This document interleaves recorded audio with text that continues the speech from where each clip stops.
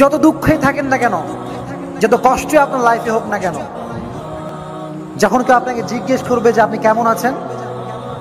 just smile and সে আলহামদুলিল্লাহ